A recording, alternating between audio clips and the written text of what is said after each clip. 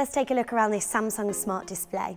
It makes it really easy to find all of your go-to streaming apps and services like YouTube, Disney+, Netflix and more.